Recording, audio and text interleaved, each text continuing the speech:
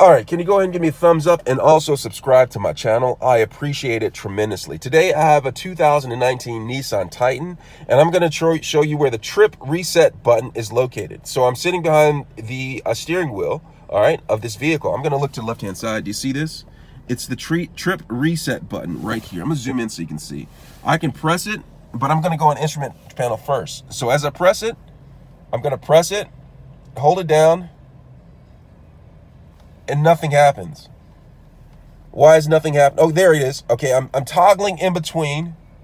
Do you see that? I'm toggling in between. I'm going to A trip and then B trip and then back to the odometer. Now on A trip, it's right there. I'm going to hold, press and hold the button down and it goes back to zero. And I'm going to do the same thing for B. I'm going to go to B and then I'm going to hold down the button just like that and it goes to zero. Let me know if you have any questions. I'm sorry that it took me so long to do it.